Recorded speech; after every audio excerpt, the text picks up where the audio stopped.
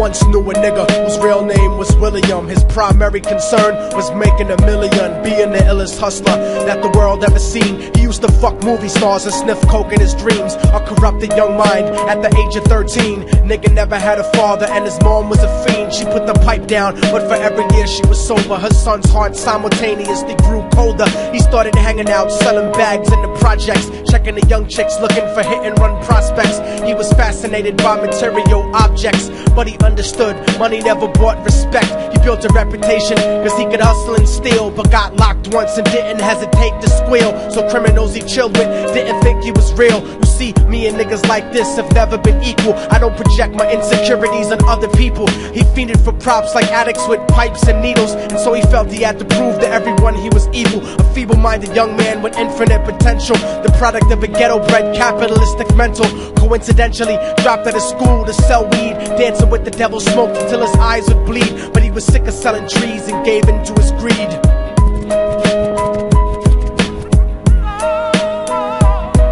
Everyone trying to be trife never face the consequences. You probably only did a month for minor offenses. Ask a nigga doing life if he had another chance. But then again, there's always the wicked that knew in advance. Dance forever with the devil on a cold cell block. But that's what happens when you rape, murder, and sell rock. Devils used to be gods, angels that fell from the top. There's no diversity because we're burning in the melting pot.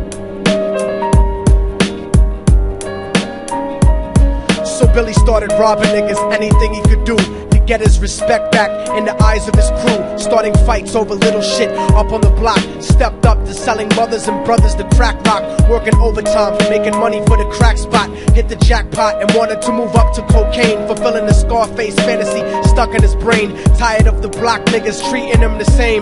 He wanted to be major like the cutthroats and the thugs. But when he tried to step to him, niggas showed him no love. They told him any motherfucking coward can sell drugs. Any bitch nigga with a gun can bust slugs.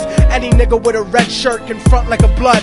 Even Puffy smoked the motherfucker up in the club. But only a real thug can stab someone till they die. Standing in front of them, staring straight into their eyes. Billy realized that these men were well guarded. And they wanted to test him before business started. Suggested raping a bitch to prove he was cold hearted. So now he had a choice between going back to his life or making money with made men.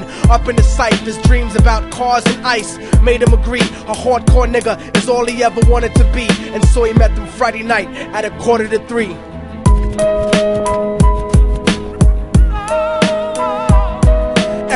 Trying to be trife never face the consequences. You probably only did a month for minor offenses. Ask a nigga doing life if he had another chance. But then again, there's always the wicked that knew in advance. Dance forever with the devil on a cold cell block. But that's what happens when you rape, murder, and sell rock. Devils used to be gods, angels that fell from the top. There's no diversity because we're burning in the melting pot. Drove around the project slow while it was raining, smoking blunts, drinking, and joking for entertainment until they saw a woman on the street walking alone, three in the morning, coming back from work on the way home. And so they quietly got out the car and followed her, walking through the projects. The darkness swallowed her. They wrapped her shirt around their head and knocked her onto the floor. This is it, kid. Now you got your chance to be raw. So Billy yoked her up and grabbed the chick by the hair and dragged her into a lobby that had nobody there. She struggled hard, but they forced her to go up the stairs. They got to the roof and then held her down on the ground, screaming, Shut the fuck up and stop moving around. The shirt covered her face, but she screamed and clawed. So Billy stomped on the bitch till he broke her jaw. Them dirty bastards knew exactly what they were doing. They kicked her until they cracked her ribs and she stopped moving. Blood leaking through the cloth, she cried silently. And then they all proceeded to rape her violently. Billy was made to go first, but each of them took a turn, ripping her up and choking her until her throat burned. Her broken jaw mumbled for God, but they weren't concerned. When they were done and she was lying bloody, broken, and bruised, one of them niggas pulled out a brand new 22. They told him that she was a witness for what she'd gone through, and if he killed her, he was guaranteed a spot in the crew. He thought about it for a minute, she was practically dead, and so he leaned over and put the gun right to her head. I'm falling and I can't turn back.